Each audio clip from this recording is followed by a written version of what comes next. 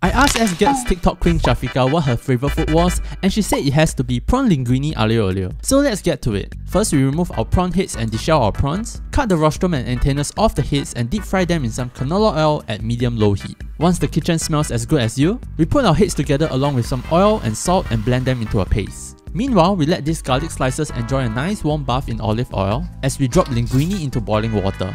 Nice hot wok, we're gonna give our prawns some color, add some chili padis and then our prepared garlic oil. Add in however much pasta you want to eat and a few spoons of pasta water. Give it the mixy mix and then we're gonna hide 2 tablespoons of our prawn paste in our pasta. Add our chopped Italian parsley, a generous squeeze of lemon juice, turn off the heat, pour everything in and then we are done. You really have to be patient with aglio olio and let the garlic infuse properly, if not your pasta will be as bland as your love life. But when everything comes together, especially with the umami of the prawn paste and the acidity of the lemon juice, fuyo,